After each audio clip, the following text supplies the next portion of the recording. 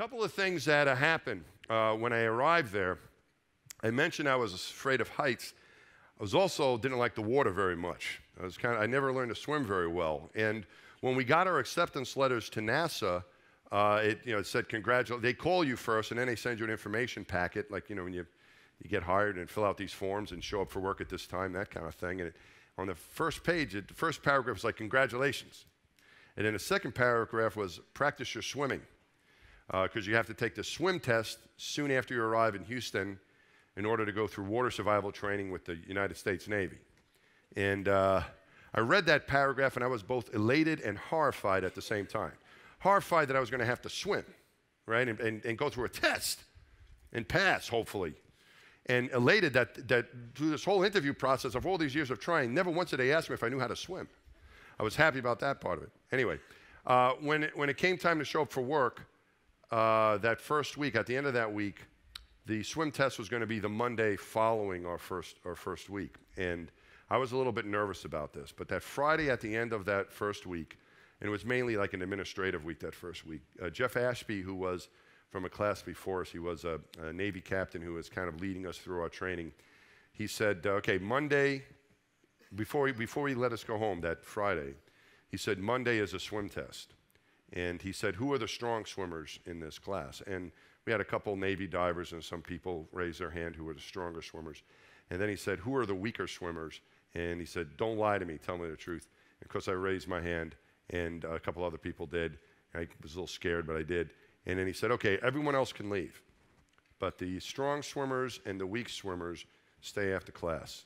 And you're going to arrange a time to meet over the weekend because the strong swimmers are going to help the weak swimmers with their swimming.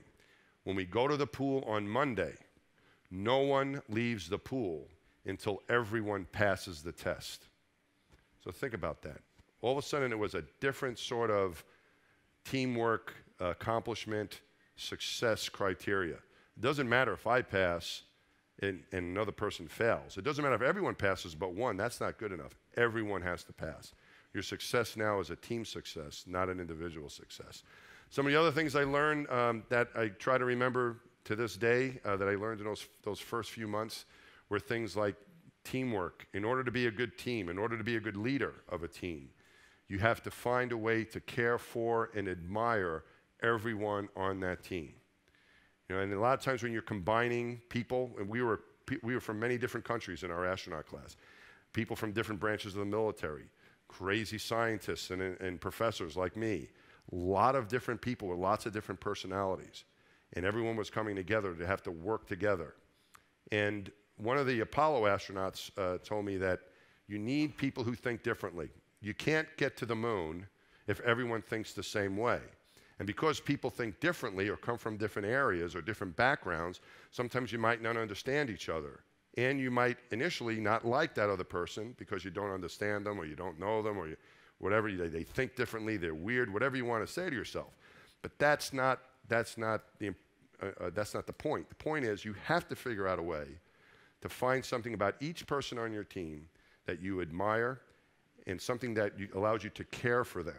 And if you can't find it, don't think that there's something wrong with that person. Just think of you don't know them well enough. And this happened to me several times with people I've flown in space with, people I was training with. My first reaction was, oh boy, this isn't good but you give it time and you make that effort to try to get to know that person. And, and if you're thinking badly about someone, there's another thing I thought was useful. If you think badly about that teammate because they did something, try to get that thought out of your mind and think of something that they've done good or something that you admire about them. Uh, this, I think, is very helpful. You don't want these bad thoughts, these bad feelings infiltrate a team. It's not a good idea.